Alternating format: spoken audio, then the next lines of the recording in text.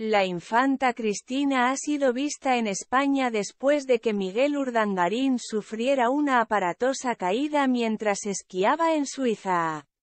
Tal y como ha trascendido, Miguel Urdangarín ha sufrido un aparatoso accidente de esquí en Suiza mientras la infanta Cristina se encontraba fuera del país.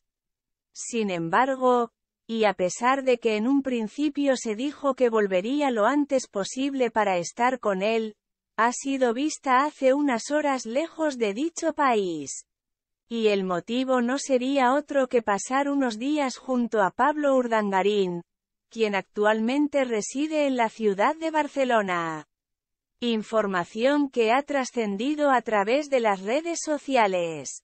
Según ha asegurado Pilar Eire este domingo, 24 de marzo, la infanta Cristina ha sido vista en una misa de Semana Santa que se han organizado en la ciudad condal.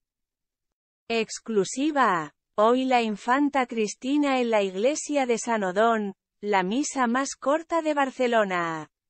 Por cierto, iba con tres guardaespaldas, ha asegurado esta comunicadora experta en Casa Real a través de X. Mientras tanto, Miguel Urdangarín se encuentra en la ciudad de Ginebra, donde espera para conocer si finalmente tiene que ser intervenido quirúrgicamente para corregir su aparatosa lesión de la pierna. Hace apenas unos días, se encendieron todas las alarmas alrededor de Miguel Urdangarín.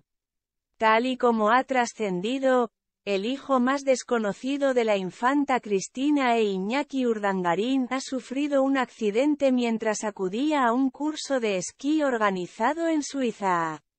A finales del pasado diciembre, el joven decidió mudarse a Ginebra tras terminar sus estudios en biología marina.